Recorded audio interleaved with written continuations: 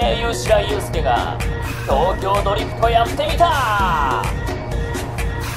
かますって白井ぐらい。ひよっこ声優白井です。普段はイケボがなりわいです。低音高音ヤンデレクール猫書いろいろエンジンワークライブに咀嚼に見えるシチュエーション番組呼ばれて増えるバリエーションオブ携帯模写。これどうでしょうか？深夜に騒ぎがちなサッカー実況。タイムライン取り乱して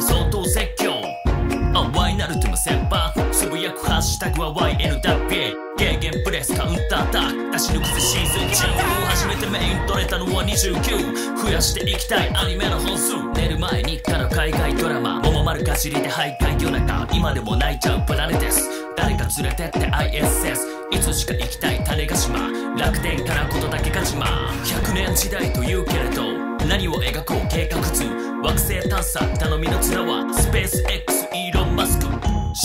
新時代安くなってほしい宇宙旅行。